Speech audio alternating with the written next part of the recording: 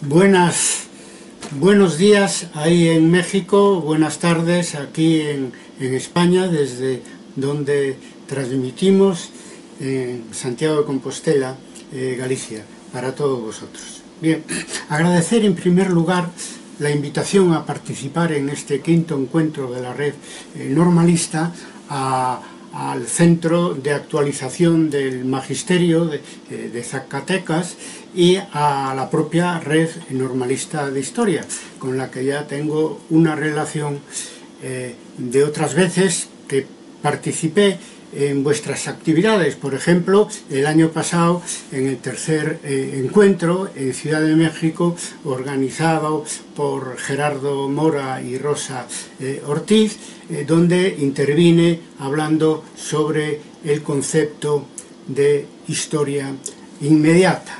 Bien, vamos a hablar de la nueva ciencia de la historia hoy. Eh, primero, mm, definir qué es ciencia desde un punto de vista general y desde un punto de vista más estricto, ¿no? más académico, si queréis. En el primer caso, entendemos por, por ciencia todo saber o conocimiento eh, riguroso, realista, eh, no especulativo eh, sobre algo, en este caso la historia de la humanidad. Después, la, ciencia ya en sentido estricto nace como ciencia moderna en el siglo XVII con Descartes y, Newton, que fundamentan el conocimiento de la naturaleza en la experimentación y el empirismo. ¿no? Bien, eh, en el siglo XIX, ya con el positivismo, se produce un fenómeno que nos afecta directamente y es la extensión de, de, del concepto de ciencia, de, las ciencias puras, diríamos, a, en este caso, las ciencias sociales, donde se incluiría, se, sigue incluyendo eh, la historia.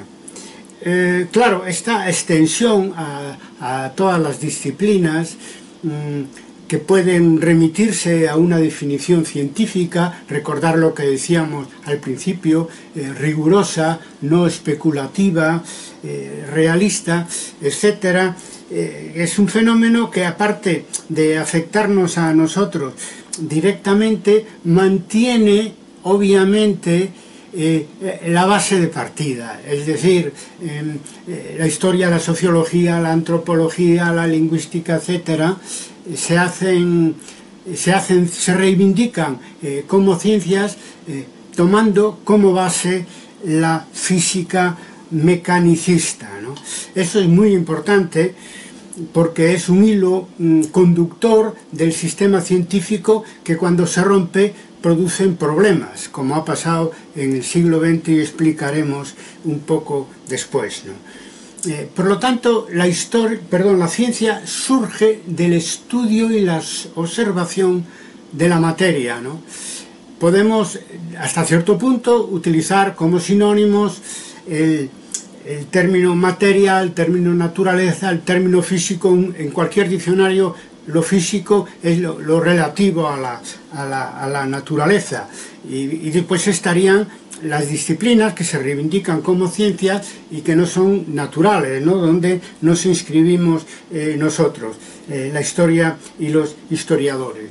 Este, este concepto de ciencia, que, que viene de, de, de, las ciencias de base, de las ciencias básicas, etc., sufre una evolución a lo largo de la historia. Eh, eso deberíamos entenderlo nosotros como historiadores, y no siempre es así porque da la impresión de que eso eh, se, se, definió hace X años, ya un siglo o más, etcétera, y, permanece inalterable. Para nada es así, como todo fenómeno físico, pero también social o, cultural, pues está sujeto al vaivén de la, de la historia.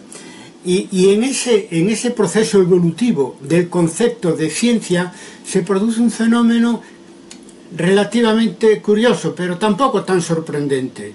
Y es una un desfase o un decalage entre el centro y la periferia, entre las ciencias naturales, eh, es decir, las ciencias originales y las ciencias sociales o humanas, que hoy, un siglo después de este fenómeno de la extensión de la ciencia al conjunto de, de, las disciplinas, un conjunto amplio de disciplinas sociales y humanísticas, pues hoy, un siglo después, tenemos que decir con toda claridad que, las ciencias eh, no naturales eh, siguen, seguimos en gran medida anclados al viejo positivismo, ¿no?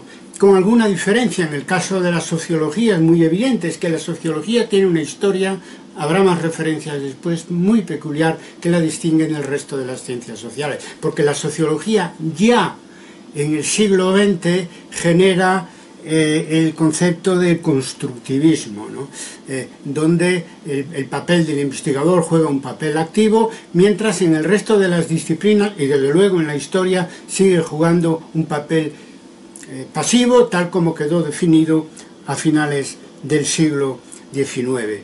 De manera que, que tenemos todavía hoy el problema de que las ciencias menores, digamos, son como eh, copias deslucidas del original que, es la ciencia física eh, siempre verde. Claro, el hecho de que las ciencias físicas eh, evolucionen con tanta facilidad y, con tanta eficacia no es casual, es que se basan en, en dos tipos de prácticas, ¿no? que nunca han abandonado, que nunca, cuya combinación nunca abandona, y es por un lado la práctica de la investigación, por otro la práctica de la teoría.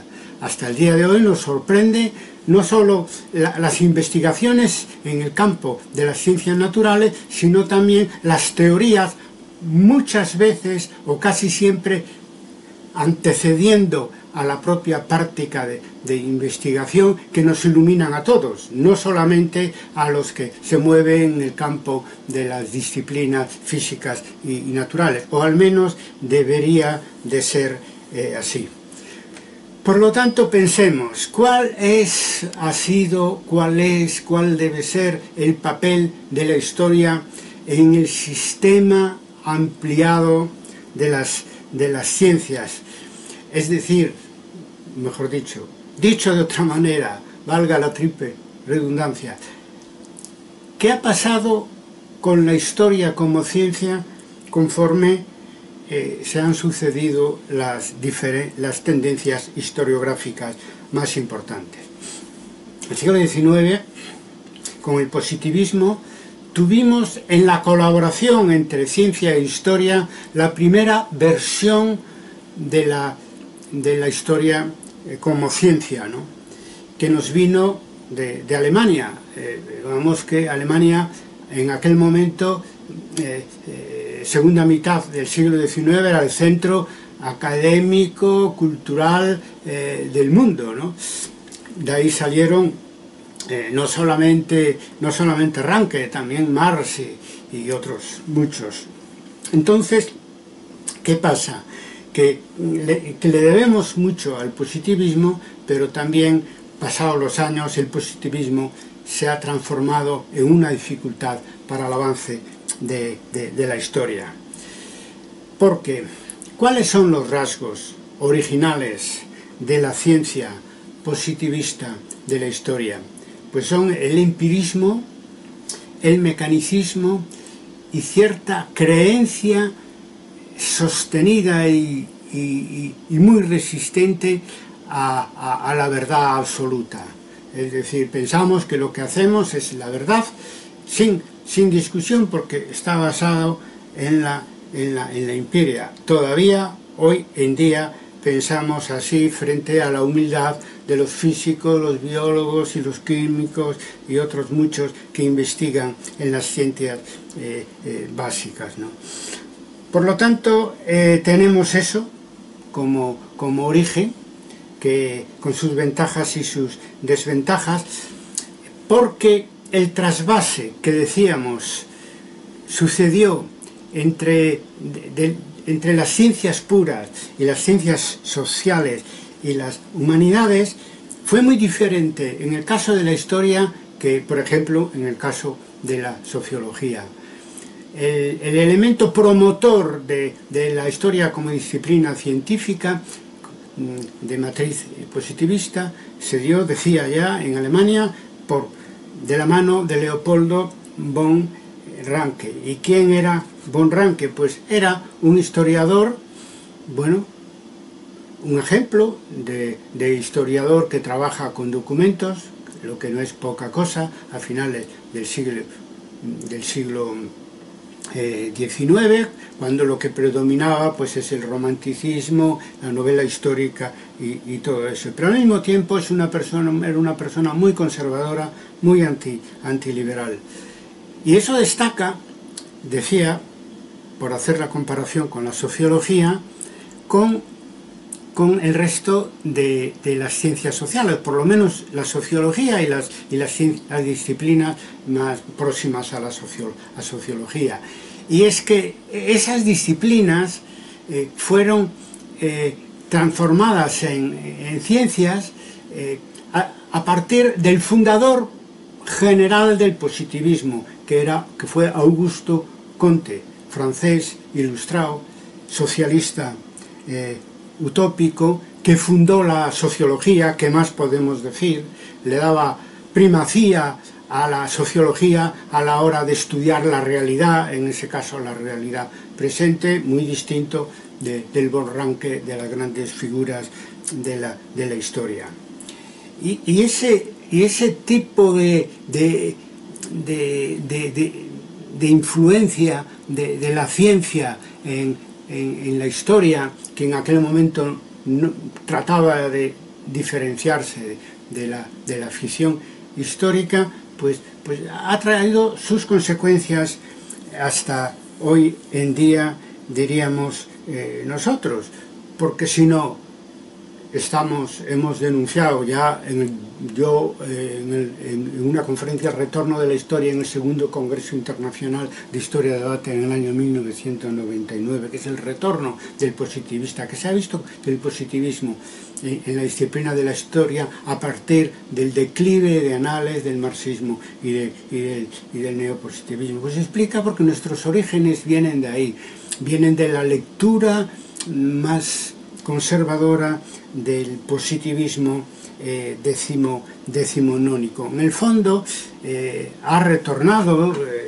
eh, en el tránsito del siglo XX al siglo XXI el positivismo historiográfico porque en cierta medida nunca se fue. Bien, hemos visto la historia como ciencia en el positivismo, ahora hablemos de la historia como ciencia eh, en el siglo XX, es decir, a caballo de la revolución historiográfica del siglo XX protagonizado por la escuela de anales, el marxismo historiográfico, el, neo, el neopositivismo. ¿no? Eh, claro, todos, todas estas tres grandes corrientes que constituyeron el paradigma común de los historiadores del siglo XX pues eh, en principio son antipositivistas, nacen de un poco criticando a, la escuela hegemónica entre los historiadores eh, de, aquel momento. Y además se generan en su mayor parte en Francia y, no en Alemania, porque ya en el siglo XX el centro académico, cultural del mundo occidental es, eh, es, Francia, que, que, es el país del que, donde nació pues, la ilustración y, que hizo una revolución como, como la francesa, que desde luego Alemania eh, nunca, nunca llegó a tener, y, otros, y otros países. Por lo tanto, claro, la nueva historia nace... Eh, en Francia. ¿Y, qué pasa eh, con esa crítica del positivismo? Pues, pues que fue una crítica superficial, como ellos decían, de, de, la historia positivista, que era una historia historizante, superficial, que una crítica justa, que no, que no explicaba, que no profundizaba los factores que mueven la historia, que no se que preocupaba por, por, la economía, por la sociedad, eh, eh, reducía el protagonismo del sujeto histórico a las, a las grandes figuras. Toda esa crítica no solo fue correcta en su momento, sino lo sigue siendo hoy en día. Pero las nuevas historias también cometieron un gran fallo, ¿no? y es que no crearon una nueva epistemología de la historia que fuera más allá del positivismo fundacional de, nuestra disciplina como ciencia. De hecho, eh, el positivismo siguió ejerciendo su influencia, bien es cierto que en un segundo plano, para bien y para mal. Para bien, porque el positivismo es, y el empirismo eh, aplicado a la historia es, el que, es donde hemos aprendido, es gracias al cual hemos aprendido a hacer historia con documentos, y eso no es poca cosa. Pero para mal también, porque eh, digamos que, que, fue un freno eh, enorme a algunas de las iniciativas de los nuevos historiadores eh, que, pretendían reconciliar al historiador eh, con, el, con, el, siglo XX, como por ejemplo, y, con otras disciplinas más, más reflexivas. Por ejemplo, esto, eh, el positivismo subyacente dificultó enormemente hasta hoy en día que se le concediera la reflexión, la teoría, el papel que debe tener en el trabajo historiográfico. también fue un freno para, para que, para que la, historia que escribimos se comprometiera eh, eh, con el presente. Creo también eh, ese, ese, positivismo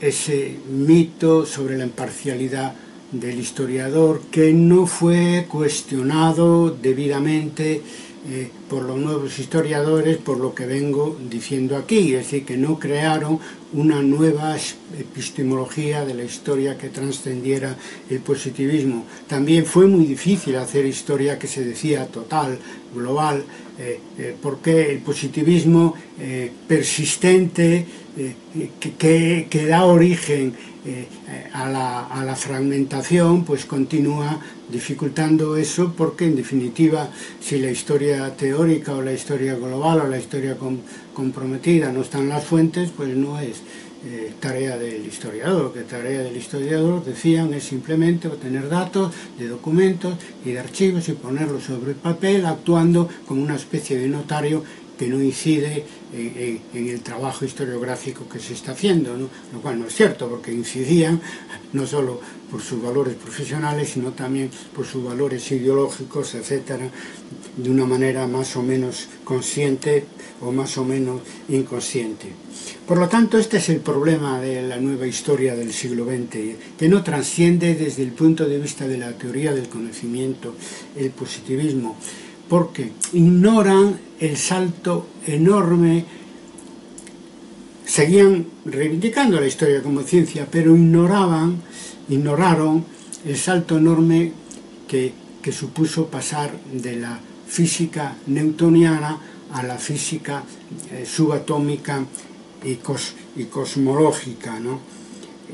Que lo que tuvo sus consecuencias eh, para la ciencia en general, desde el punto de vista de, definición y metodología, etcétera, etcétera. Así como ignoraron los cambios revolucionarios eh, que se dieron en la ciencia a lo largo de todo el siglo XX, también ignoraron, eh, aun siendo más reciente, la obra de Thomas S. Kuhn, eh, un físico reconvertido en historiador que se dedicaba a la historia y a la teoría eh, de la ciencia y que con sus eh, descubrimientos y reflexiones, pero también con una base empírica, consiguió revolucionar la historiografía y el concepto de, de, ciencia. Pues esta ignorancia pues, es un poco lo que, lo que explica que cuando desaparecen los, los, aspectos más positivos y más necesarios del marxismo y de Anales, pues eh, vuelve a, situarse en el primer plano, por lo menos en sectores más o menos amplios de la historiografía internacional, el, positivismo, como si volviéramos eh, al, siglo XIX. Eh, quiero decir con todo esto que igual que hablamos de una vieja y nueva historia, perdón, ciencia, eh, en general, eh, tendríamos que hablar de una vieja y nueva ciencia de la historia en particular. Para eso hay que reconectar con la nueva física y la historia de la ciencia, como se hizo eh, a finales del siglo XIX, y actualizar nuestro concepto y método de la historia como ciencia. Urge para tener un presente y un futuro en el siglo XXI. Esta colaboración entre historia y ciencia que hay que renovar, por lo menos en los sectores eh, de, las comunidades de historiadores que no lo han hecho todavía, que son, que son mayoría, eh, eh, pues debemos recordar que puede y debe ser tan útil, ya no digo tan necesario, que eso es obvio, para, para, vivir el siglo en el que estamos, eh, no, no, no, no realidades pretéritas, ¿no? sino que también es, es importante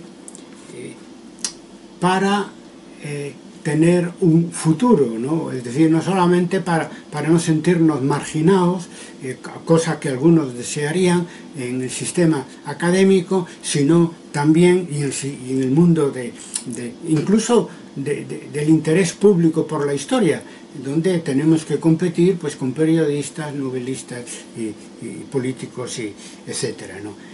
Y yo vengo un, tiempo ya, pero un tiempo que ya son pues, tres décadas, ¿no? reivindicando este, este retorno a la colaboración con, con las ciencias de la, de la naturaleza. ¿no? Porque eh, hablando de manera colectiva eh, e histórica nos ha ido bien. Es decir, la, primera versión de la historia como ciencia surge de esa colaboración eh, con, los, con, los físicos eh, y otras ciencias de la naturaleza eh, que además reflexionan y nos suelen ofrecer reflexiones que, nos hacen pensar sobre, en positivo sobre el oficio de historiador. Es decir, si la historia nació como, como la conocemos hoy en día en su colaboración con, con la ciencia del siglo XIX, pues, ¿qué decir? Pues el siglo XX ya pasó, pues, para, en el siglo XXI urge realmente actualizar el concepto y el método de la historia como ciencia, insisto, para jugar un papel que no debería perderse en el conjunto por parte de la historia profesional en el conjunto de las ciencias sociales y las humanidades. Por lo tanto, ahora nos vamos a centrar en el tema, mm, en la parte más, creo yo, importante de, esta, conferencia. Es decir, vamos a hablar, ya hemos hablado, voy a resumir un poco, del pasado de, de, los aportes de la ciencia a la historia y vamos a ver el presente y el futuro. Y en ese presente y futuro es donde quiero ahora prestar atención. Resumo, eh, en el siglo XIX eh, eh, la ciencia nos aporta el empirismo, el objetivismo, el trabajar con fuentes, eh, con archivos y no inventarse la historia y eso mm, pues no solo fue fundamental para la, historia positivista, sino también para la historia de, la escuela de anales, del marxismo, de la historia cuantitativa, del neopositivismo y otras cosas. Además, en, la relación con el positivismo, eh, eh, eh, hemos extraído unas metáforas mecanicistas que ahora citaré las tres más importantes y recordaréis lo útil que han sido. Yo creo que han quedado un poco atrás, pero, pero en su momento fueron muy útiles y, también, claro, naturalmente, como son mecanicistas, pues eh, con unos límites evidentes que hoy ya es, obvio hay que, hay que superar. Una es la cosificación del objeto del historiador por parte del positivismo. Bueno, permitió distanciarse eh, y hacer una historia, eh, diríamos, objetivista, etcétera, aunque tuvo como negativo pues eso, la cosificación de nuestro objeto que intentó Marblot eh, superar sin cambiar, insisto, eh, la base epistemológica positivista de nuestra disciplina cuando hablaba que la historia es la ciencia de los hombres, etcétera, en plural, por, en sujeto colectivo y que no se redujera, por favor, venían a decir los historiadores danales y más todavía marxistas y otros eh, eh, que, no podemos reducir a las, a las grandes figuras de la historia el protagonismo, los cambios, eh, el devenir de, del, universo humano. Por lo tanto, la primera metáfora, la cosificación mecanicista del objeto de nuestra disciplina. La segunda, que os resultará también familiar y que fue promovida sobre todo por el marxismo, pues la base y la superestructura, otra vez una metáfora mecánica, fue muy muy útil porque sirvió para reivindicar la importancia de la base económica en la explicación de los hechos históricos. Y después, en tercer lugar, también resultará muy familiar eh, otra, mm, otra metáfora mecánica eh, donde eh, los diferentes niveles de la realidad se, se representaban como como la planta baja, la primera, la segunda o la cuarta de un edificio eh, construido o en, o en construcción. ¿no? Eh, entonces, mm, bueno, pues eh, eso, ¿qué utilidad tuvo? Pues que se aparecía como tan, tan importante como la política para, para estudiar y explicar los hechos históricos pues aparecía pues el medio natural, la economía, la sociedad, eh, la cultura, las mentalidades, fue muy útil. Por lo tanto, las, eh, metáforas mecanicistas fueron útiles, pero pronto se vieron sobrepasadas, aunque para algunos, como no han cambiado su concepto positivista eh, de la historia, todavía piensan que es la única manera de representar eh, lo que es ese, ese pasado que queremos eh, eh, reconstruir y el papel del historiador en ese, en, ese, en ese proceso. Y ahora vamos al siglo XX y al siglo XXI, donde mm, la, la ciencia cambia de piel. Es decir, ahora lo que cuenta en el trabajo científico, sin abandonar el objetivismo, es el subjetivismo el relativismo y la complejidad. Eh, y ahí aparecen ya las metáforas dialécticas, que, son mucho más útiles para, para eh, estudiar eh, la historia entendida como el cambio, ¿no? es decir, mucho más útiles. entonces son metáforas que relacionan al observador, según la terminología de física, pero nosotros diríamos pues el investigador, el historiador con su objeto y con el tiempo. Entonces eh, aquí ya tenemos una influencia en la manera de, redefinir la, historia como ciencia de por lo menos tres teorías importantes que surgen de, de las ciencias básicas. Una es la teoría cuántica, otra es la teoría de la relatividad y la tercera la teoría de los paradigmas. Eh, eh, las dos primeras de principio del siglo XX. Es que llevamos un, retraso de un, siglo en, ponernos al día sobre, sobre la historia como ciencia, siguiendo los criterios naturalmente de las ciencias originales, que son la física y, las ciencias eh, naturales. Bueno, la teoría cuántica, digamos que para lo que nosotros interesa, eh, el autor principal es eh, Eisenberg, ¿no? Mm, eh, obviamente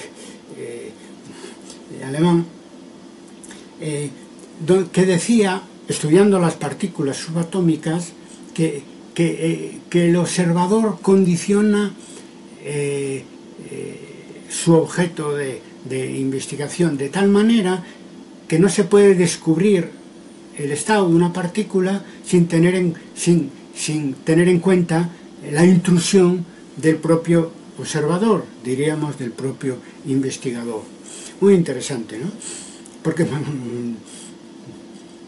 de alguna manera sucede igual cuando, eh, cuando investigamos como, como historiadores o como sociólogos intervenimos eh, en el, en el, resultado final, no, no existe eh, esa ciencia positivista, era puro idealismo, de reproducir una realidad como si nosotros no existiéramos, cuando nosotros somos los que intentamos representar esa realidad. Es así, es un poco paradójico, pero de ahí vienen todos estos problemas eh, de tipo epistemológico a los que estamos haciendo referencia. Claro, el papel del observador tan importante que, eh, que condiciona eh, la percepción de, del objeto, eh, hay que mm, completarlo con las críticas que Einstein y Bohr hicieron al propio Heisenberg, que, decían que en cualquier caso no olvidar que, que la realidad existe al margen del observador. Es decir, que por mucho que el observador incida en, en, en, en, la realidad que quiere investigar, esa realidad que quiere investigar existe independientemente de él. Otra cosa es que a la hora de, de decir qué es lo que de decidir qué es lo que descubrimos, tenemos que obviamente tener en cuenta cómo incide el propio investigador. Por lo tanto, este planteamiento relativista eh, sobre la relación del investigador y su objeto, eh, completando a, a Eisenberg con el, realismo de Einstein y, de Bohr, eh, pues tenemos que atenernos. El propio Eisenberg sugirió, y es poco conocido esto, esto de lo que hemos hablado al principio, es decir, que había que extender en este caso su descubrimiento epistemológico a otras disciplinas y además no hacía diferencias entre las ciencias y las eh, humanidades. Por lo tanto, sumamente interesante. Mm, la teoría cuántica, mm, igual que la teoría de la relatividad, están vivas hoy en día, se están enriqueciendo eh, tremendamente y descubriendo eh, eh, nuevos detalles, nuevos aspectos, que igual que sucede, se está sucediendo con la teoría de la relatividad. ¿no? Y vamos a, la, esto, a la teoría de Einstein. Lo primero que hay que decir es que aunque su atención estaba concentrada en la historia del universo, en la cosmología, etc., Einstein entendía la realidad como un todo, eh, no solo como un todo universal, sino también incluyendo en, eh, incluyendo en ese, en, ese en, lo cosmológico pues el, el, nivel terrestre y el nivel subatómico, o sea, esos tres aspectos de una realidad eh, que no se pueden, eh, se pueden y se hace analizar empíricamente, etcétera, pero a la hora de teorizar hay que tener en cuenta que, lo terrestre, lo subatómico y, lo cosmológico forman parte de, un todo que es, que es, la realidad física eh, en la que eh, se mueve la, humanidad y los cuerpos y los cuerpos terrestres. Esto es muy importante dejarlo claro. Eh, hay dos cosas de la teoría de relatividad que nos interesan, que son, que, son de interés para, para el historiador atento a lo que pasa en, la, en las ciencias eh, naturales. Una es el concepto de Einstein de espacio-tiempo, es decir, no concibía en cualquiera de los planos de la realidad eh, la, eh, la diferenciación entre el espacio y el tiempo. Eso es sumamente útil, en parte se corresponde con nuestras experiencias de investigación más avanzadas, ¿no? Eh, y confirma eso, eso, eso, que venimos diciendo algunos de la importancia de estudiar eh, eh, la acción humana sobre el medio natural, porque además, como sabemos, eh, esa acción humana con, más aspecto con más aspecto negativo de los que estaríamos dispuestos a aceptar, por lo menos algunos, eh, pues incide de rebote en la propia historia puramente humana. Mm, en un texto al que haré referencia al final sobre el nuevo concepto de la historia como, como ciencia, insistimos en ampliar aquella definición que nos legó eh, legaron los primeros anales eh, Marblot que decía que la historia es la ciencia de los hombres en el tiempo, hay que añadir y en el espacio.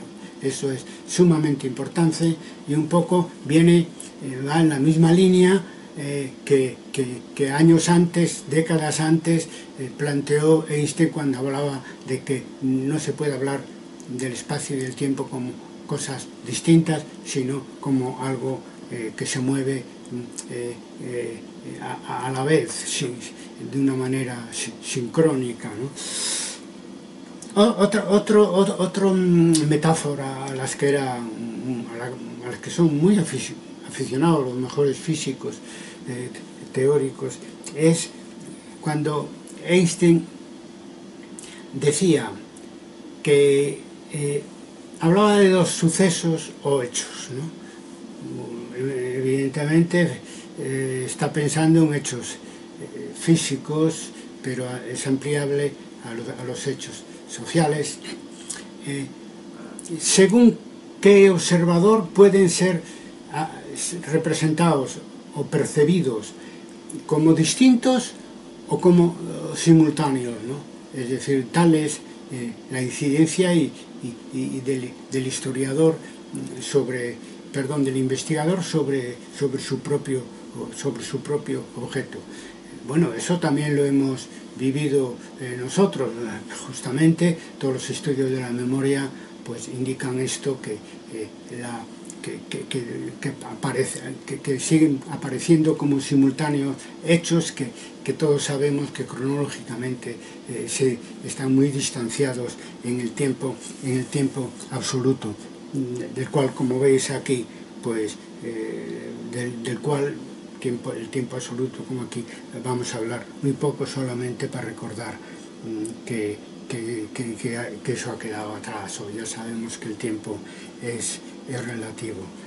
Bien, eh, por lo tanto, de alguna manera, trabajando en el plano eh, cosmológico, principalmente Einstein confirma el, subjetivismo que ya había descubierto en el plano subatómico eh, Eisenberg. Ambos mm, eh, consideran al tiempo absoluto de Newton algo separado, es decir, un concepto muy, muy limitado de, la realidad, en este caso de la realidad temporal, cosa que para nosotros eh, tiene mucha importancia, porque cuando hablamos de tiempo hablamos de historia, porque lo que nadie puede cuestionar es que la historia es la ciencia del tiempo, eh, del devenir, del devenir, del cambio. Por lo tanto, en ese sentido son muy importantes todas esas reflexiones, porque como, como pasó ya con hace mucho tiempo con el positivismo, pues nos puede ayudar mucho a percibir cuál es el trabajo historiográfico hoy en día en el siglo XXI, eh, confirmando cosas que hemos estado diciendo, los que seguís mis trabajos y los de Historia de Debate lo sabéis, que es la dependencia de, la historia, eh, del historiador, eh, ese secreto mm, guardado, más el, secreto más guardado celosamente en nuestra disciplina, que, es que el historiador hace la historia. Cuando definimos la historia, la definimos una, ciencia con sujeto eh, cognoscente y de esa manera nos colocamos eh, pues a la altura de, todos los descubrimientos epistemológicos que ha venido haciendo la, las ciencias físicas y, la historia de, la ciencia a lo largo del siglo XX. Y en tercer lugar, teoría cuántica, teoría de la relatividad, hay que hablar de la teoría de los, de los paradigmas.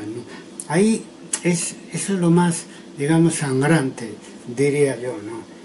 Y es que mm, se, se, haya mm, dejado de lado eh, la, ciencia post-positivista de, que, reside, en, que está en la obra de Thomas S. Eh, Kuhn, eh, a lo que he hecho referencia antes, conocido sobre todo a partir de la estructura de las revoluciones científicas en 1960-62. Bueno, decir dos cosas nada más porque ya estamos terminando. Eh, una, que en el campo de la metodología y la epistemología las contribuciones de Kuhn eh, van en el sentido, fijaros vosotros si es revolucionario o no, de decir o de, o de demostrar que la comunidad de especialistas, es decir, la comunidad de historiadores, en nuestro, en nuestro caso, decide la verdad sobre un hecho determinado o un proceso eh, determinado, apoyándose en la empiria. Eh, todo lo contrario que decía el positivismo, que la verdad surge de la extracción de datos puramente, meramente de, de, las fuentes históricas, que a su vez pues, son un precipitado del pasado, en fin, eh, que es el que tenemos, sobre eso tenemos que trabajar, pero conocer también sus, sus, sus límites. Por lo tanto, la comunidad de historiadores decide lo que es verdad histórica, eh, por encima de lo que deciden los resultados de las investigaciones científicas, que muchas veces eh, son revolucionarios y la y la comunidad de historiadores no lo acepta y eso pasa en nuestro campo académico y, y en todos los campos científicos. ¿no? Los nuevos paradigmas pues, eh, tienen que chocar con una enorme resistencia por mucho que demuestren con datos empíricos que están diciendo unas verdades nuevas pero, pero ina, ina, inapelables. Por lo tanto, quien decide la verdad es, es el sujeto colectivo eh, de, los, de los historiadores. Y, otra cosa ya eh, son los, los avances tremendos que se vieron en historiografía, es decir, la posibilidad de no hacer solo una historiografía que sea de autor u obra, incluso de corrientes eh, historiográficas, sino, sino que sea de paradigmas, eh, una historiografía de paradigmas, eh, donde se le dé especial importancia al cambio de paradigmas, siendo los paradigmas aquello que, que comparten una comunidad de, de, historiadores. Bien, sobre eso, ¿qué os voy a decir? Los que nos habéis seguido a lo largo de todas estas décadas de Historia de Debate, eh, ya sabéis, es lo que hemos hecho en Historia de Debate, es el mejor ejemplo como una historiografía de paradigmas puede servir para adaptar, en este caso, nuestra profesión al cambio de siglo, del siglo XX al siglo XXI. Llevamos haciéndolo pues, desde el año 1993, que fue el primer Congreso Internacional de Historia de Debate.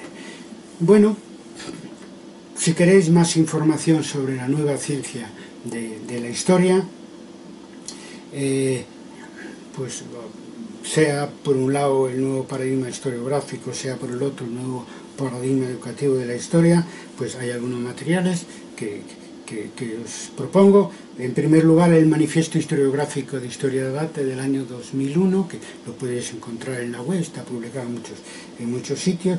Y por otro lado, ya hice referencia a ello, mi conferencia en Quito es eh, por un, nuevo concepto de la historia como ciencia del año 2005.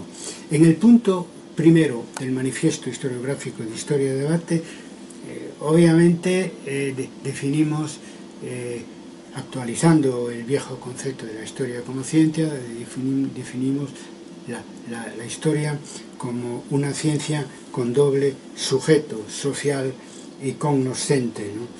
Mm, es decir, estamos hablando de la historia como un conocimiento científico basado en la interacción continua entre el historiador y su objeto. Es decir, de otro modo, más o menos cambiando algunas palabras, la historia es objetiva y subjetiva al mismo tiempo. Sobre algo más próximo para vosotros, normalistas, naturalmente, mayor interés eh, directo eh, es eh, mi trabajo sobre el nuevo paradigma educativo de la historia. Mm, el texto también lo encontráis publicado buscando en Google en muchos sitios y, además mm, con posterioridad al texto proponiendo un nuevo paradigma educativo de la historia hay una conferencia mía organizada también por eh, Gerardo Mora y Rosa Ortiz en el año 2011 en la, Escuela Normal Superior de, la Ciudad de México que está en YouTube, ya digo, y que se tiene por título la didáctica de la historia, valores o competencias. Por lo tanto, proponemos como eje del nuevo paradigma educativo de la historia eh, tres cosas a la vez. Una, el papel activo del alumno, el aprender a aprender del, del viejo constructivismo que sigue siendo útil. Añadiendo el papel activo del profesor como transmisor de contenidos y de valores que niegan la educación neoliberal en competencia. Y en tercer lugar, concluir que la educación de valores tiene que estar por encima de la educación en competencias. Y esta última, además, redirigirla hacia la creación Mm, enseñar habilidades historiográficas en los alumnos desde la escuela primaria y secundaria trabajando eh, con fuentes.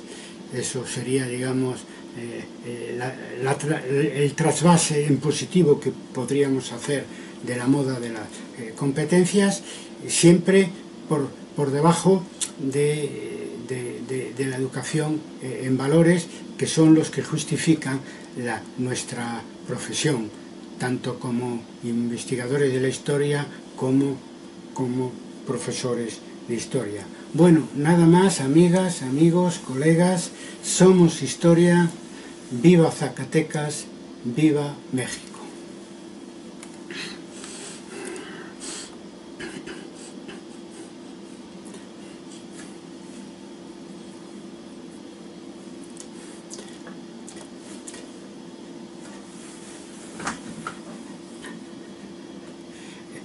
oye, Josafa, tienes que perdonar, pero como yo no te, no te oigo, a pesar de que te escuche, no te oigo porque no tengo sonido, eh, para responder a las preguntas me atengo al chat, ¿puede ser? ¿Te parece bien? Eh, entonces aquí voy a empezar Voy a empezar eh, primero. Doctor, ¿qué es más importante, desarrollar valores o competencias en el estudio de la historia? Yo creo que las dos cosas, pero en el orden que lo has dicho.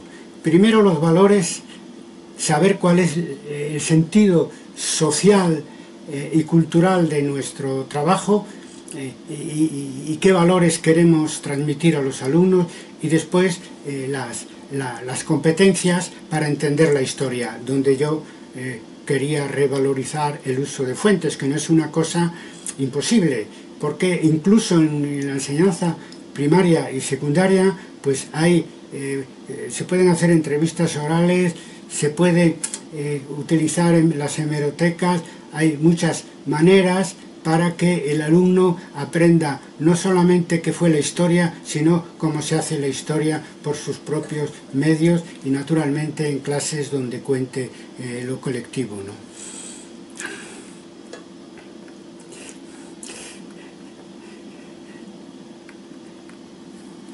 Bueno, estoy intentando aquí en el chat ver qué, es, qué es lo que hay ¿Cómo se construye el autor colectivo de la nueva historia? ¿Qué les diría a los docentes que tienen la misión de acercar a los estudiantes a la historia?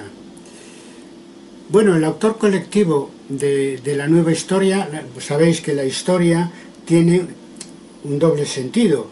Eh, la historia mm, eh, que, vivimos y la historia que escribimos. ¿no?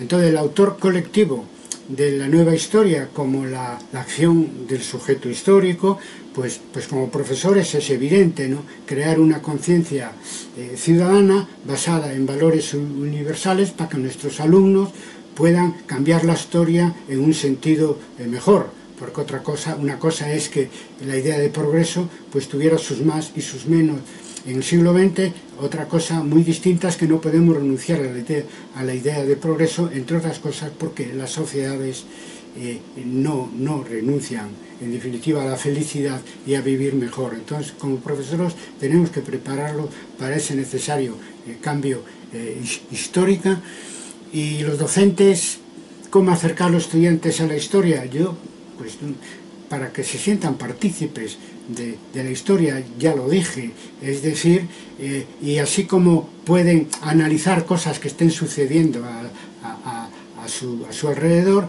pueden analizar cosas que, que hayan sucedido en otra época, no solo utilizando un manual de historia o trabajo de los historiadores, sino también con datos históricos que están eh, expuestos, sea oralmente, sea por escrito, de una manera accesible a cualquiera.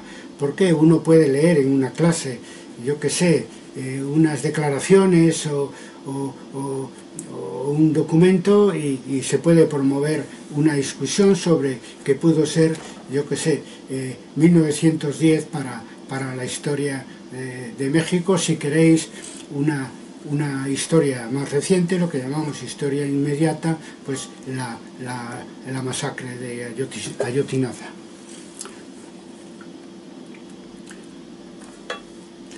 Bueno,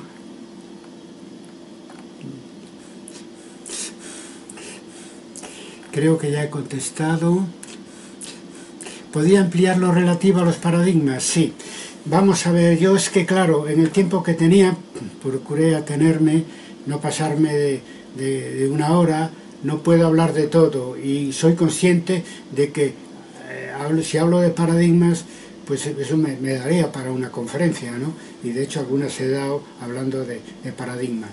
Eh, eh, vamos a ver, lo que pensamos mm, que une a, los científicos, en este caso a los historiadores, antes creíamos que eran pues son las ideas, el trabajar experimentalmente, etcétera, pero Kuhn descubre que en realidad hay un, conjunto de creencias, eh, la mayor parte de origen empírico y otras no.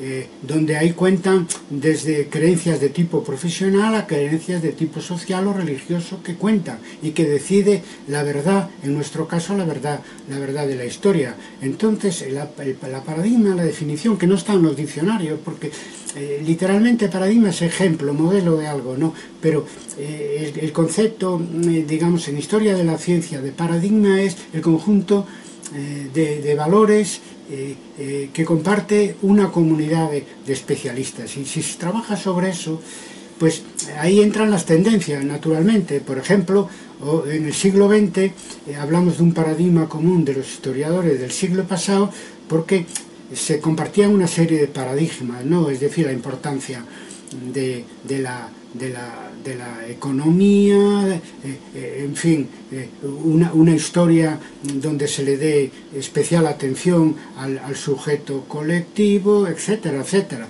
Entonces, el estudio de esas creencias es lo que determina el estado de una, de una disciplina. Y digo a propósito creencias porque era el término que utilizaba Kuhn. Insisto que era un, investigador y un teórico de la ciencia que positivista, es decir, que, no, pensaba, digamos, eh, que, la ciencia eh, nos, revelaba como las tablas de Moisés se revelaba a nosotros eh, a través de, los documentos, sino que los documentos los, los, atesorábamos nosotros, los leíamos nosotros, los interpretábamos nosotros, es decir, que la historia la hacíamos nosotros con determinados paradigmas en la cabeza, que pueden ser eh, elementos de metodología, de historiografía, de teoría y otros de sentido común, etcétera, que son los que, los que definen eh, el estado de una disciplina en, un, momento, en un momento dado.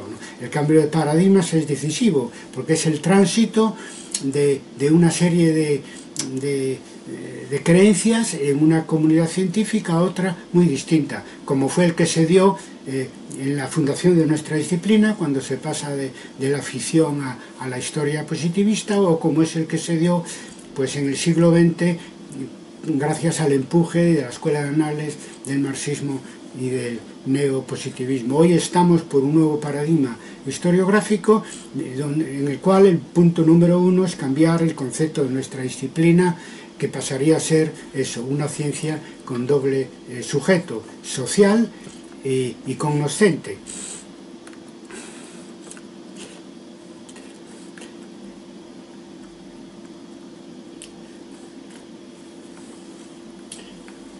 Bueno, estoy yendo hacia arriba y creo que ya no hay más, más, más preguntas, todos son saludos, eh, felicitaciones que, que, se agradecen a todos de, una vez, pero voy ahora de nuevo hasta el final y, sigo con las preguntas.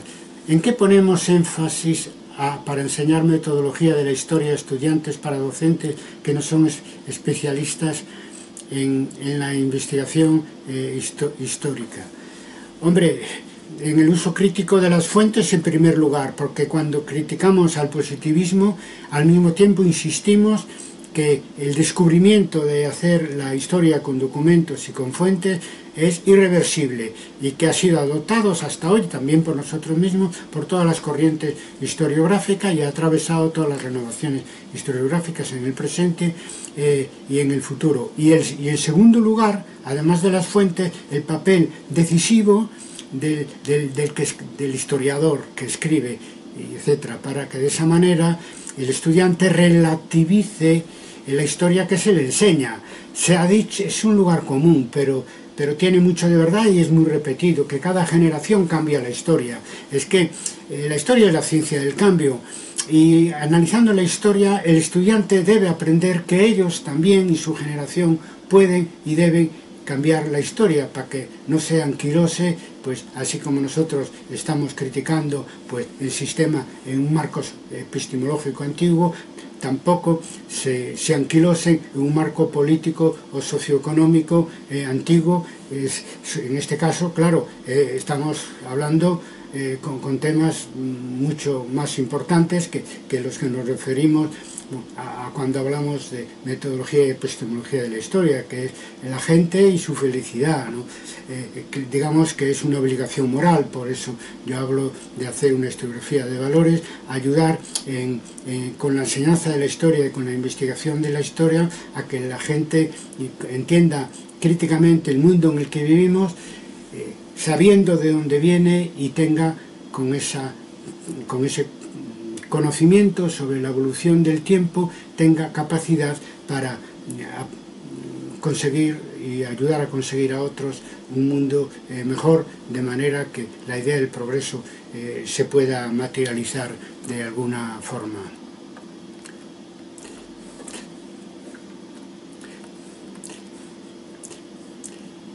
Bueno, la historia que escriben los historiadores es la misma historia que los profesores de educación básica imparten. Yo creo que no. ¿eh? Es decir, yo recuerdo un colega eh, italiano que uno de los congresos de historia de debate proponía una, un, renovar la alianza entre la historiografía y la enseñanza de la historia.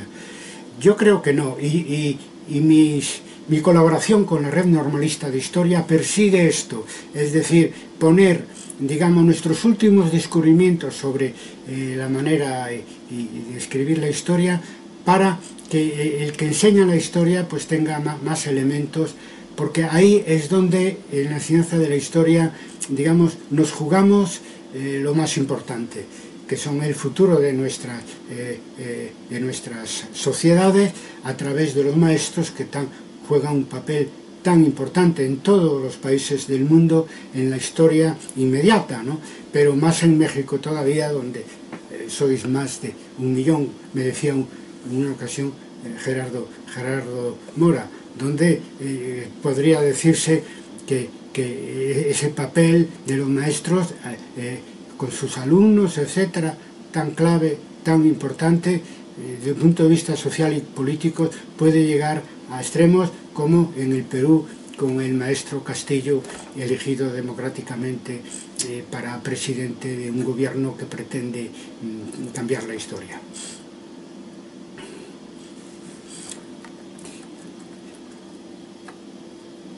considera que pueden escribir historia los estudiantes normalistas. Yo decía que, tienen, que tenéis que acostumbrarlos a trabajar con, eh, eh, con fuentes y que ellos a su vez, cuando sean maestros, eh, ayuden a los alumnos a trabajar con, con, fuentes y escribir la historia. Uno de los fenómenos nuevos que estamos detectando es que eh, el, el, término de historiador se está ampliando tremendamente. En, en, parte porque en las universidades no hay más puestos para los doctores en historia que estamos generando en las universidades eh, y, y, muchos, aún siendo incluso doctores, pues investigan por su cuenta, profesores de enseñanza secundaria también investigan la historia, es decir, eh, hay mm, muchos, una gran ampliación de la comunidad internacional de historiadores y eso es un fenómeno que se está dando en todos los países que refleja el interés por la historia. Y debemos acostumbrarnos a que el historiador no tiene el monopolio sobre la escritura de la historia, quiero decir el historiador académico. Eh, también se hace historia desde, desde los colegios, desde los liceos, eh, desde los museos, desde la biblioteca, eh, desde los archivos y también desde los movimientos de recuperación de la, de la memoria histórica donde los descendientes de, de, de, las víctimas de la historia pues quieren uh, prestar su colaboración para eh, reconstruir ese pasado eh, que ha sido atroz para una parte de la humanidad. Por lo tanto, sí, todos, la historia es de todos y todos deberíamos contribuir a hacer historia en, mayor o menor eh, medida. Veo, veo que Josafat aparece de nuevo aquí, me da la impresión, me da la impresión de que ha llegado el momento de, de cortar esto, ¿yo? Dime, así, que sí, entiendo bien. Bueno, pues aquí, aquí quedamos, un gusto eh, estar con vosotros otra vez y mucho ánimo y, que la red normalista de, de historia pues tenga un futuro esplendoroso y ayude a México a tener un futuro esplendoroso.